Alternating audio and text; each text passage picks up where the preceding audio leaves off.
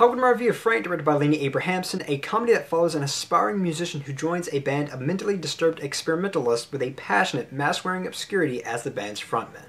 Frank is a movie that I've been aware of for quite some time now. I remember listening to Mark Kermode's review and listening to him describe the film and saying that Michael Fassbender wears this gigantic mask throughout the entire film, and that alone had me wanting to see the film. Michael Fassbender is one of those actors I've been a relatively big fan of ever since I've been exposed to him, and I think he's just one of those actors with an extraordinary amount of range, and I think he's just an overall extraordinary actor. I think he's one of the best actors working today in his age group. And although Michael Fassbender is wearing a gigantic mask throughout the entire film, I think he does as good as one could do while wearing a gigantic mask throughout an entire film. He does a lot with his physical movements, you know, the tilting of the head, the way he kind of moves his body, that kind of thing, and with his voice. And I think with all the stuff that he does in the film, I think he does a pretty good job. But the one performance I was the most impressed with was actually Maggie Gyllenhaal's, and I'll be honest, I'm not the world's biggest Maggie Gyllenhaal fan, and in fact, I've yet to see a Maggie Gyllenhaal performance that I can say that I've actually been a fan of until now, and here she is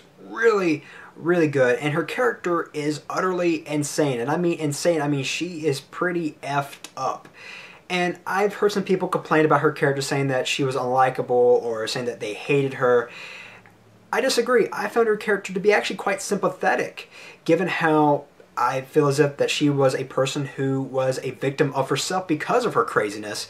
And I don't know, I just kind of find it hard to hate on somebody who has a disease. Then you also have the Domhnall Gleeson character who is somebody, like I said in my synopsis, wants to become a musician. Yet at the same time though, wants to become famous. And he's somebody who is more attracted to the fame side of things rather than making music. At the beginning of the film, we get a really good insight of what kind of character he is. He's using Twitter and he posts updates and the likes of, okay, I'm in the studio making music. Yet two minutes later, he'll post an update saying, okay, it's time to eat.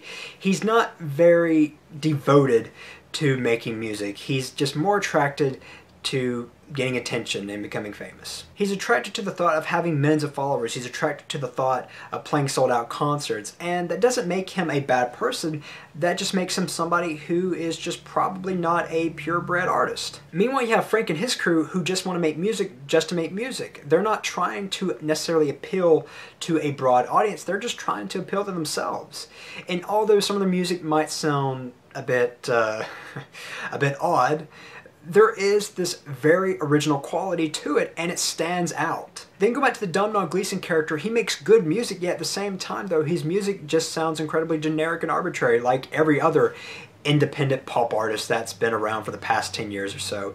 It's just kind of boring. Which now brings me to say this. This movie is a commentary on the mainstream music industry and showcases just how far gone mainstream music has gone into the fiery depths of hell. And there's just really no other way to say it, so I'm just going to come out and say it music today, or mainstream music today, is just fucking awful. You turn on the radio today and everything sounds exactly the same. And not only that, but it also sounds like shit. And all these little artists, and more specifically female artists, they're pretty much softcore porn stars. And I hate saying that, but they kind of are. I mean, really, if you want to do that kind of stuff, just become a model or just do porn. I mean, really, just get out of the music industry if you don't want to make good music. The music industry today is nothing more than a popularity contest, and that is it. That's all it is. And although the music by Frank and his crew go against the grade to the point of where it's just kind of batshit mad, I still much rather listen to the music by them than listen to whatever's on the radio right now.